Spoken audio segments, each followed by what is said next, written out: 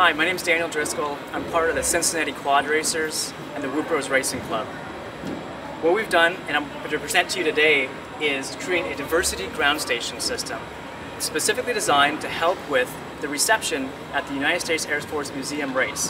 The problem we've had with this race in the past is that there's so much metal with all the aircraft, the hangar ceiling metal, everything inside of this building is basically reflecting signals back at the pilot, back in all sorts of different directions. And that creates what we call multipathing noise.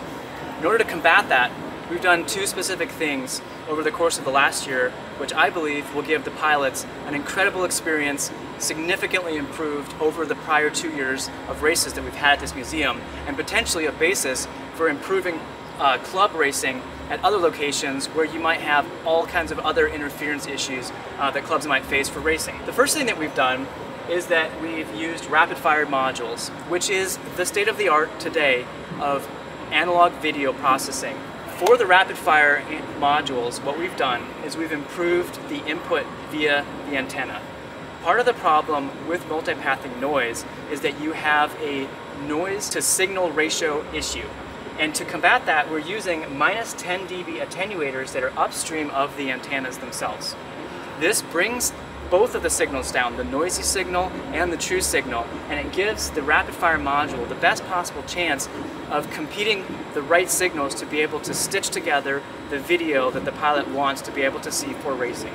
We're also using omnidirectional antennas, so these antennas are going to provide a half dome, upper and lower view uh, for that reception coming into the rapid fire module, and it's not going to prioritize any specific location as would happen with patch antennas.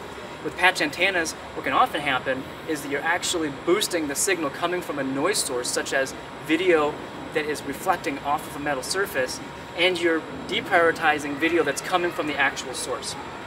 So that is what we've done using rapid fire modules, minus 10 dB attenuators, and dome uh, omnidirectional antennas.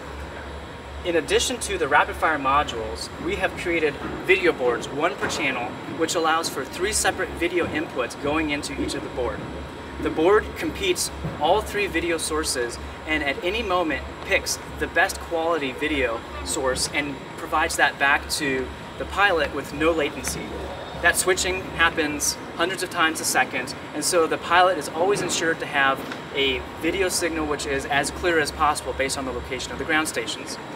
Which leads me to the last improvement we've made. Because we have the ability to compete multiple sources, this primary ground station resides in one location of the course, and we have another ground station located on the opposite side of the course with the ability to have a third ground station in a specialized location.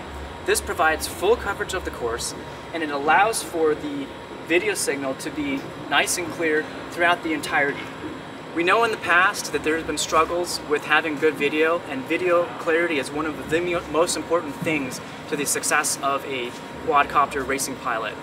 Uh, by having this multi-station diversity ground uh, station setup, providing multi-diversity video going to pilots, we hope that you can have a better experience coming to race at the National Museum of the United States Air Force.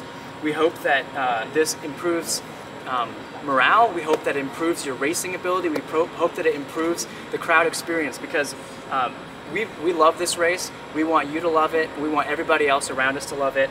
We really appreciate uh, what you bring to the table as a pilot with your skills. We look forward to the competition this year. We look forward to not having any more video issues. Uh, no one saying, my, my channel sucks, I need, I need some fixing. All right, so thank you for coming. Thanks for tuning in. We look forward to seeing you.